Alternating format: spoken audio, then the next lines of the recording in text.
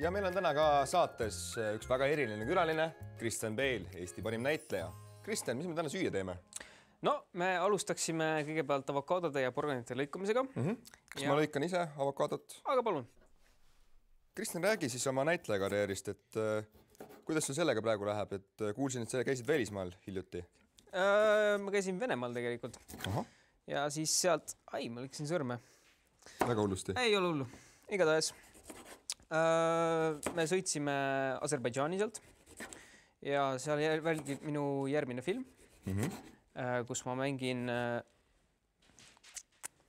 mm, äh, vampiiri äh,. igatahes äh, ma alguses sain aru, et see on Dracula adaptatsioon, aga tuleb välja, et äh, on sul muidu veel midagi?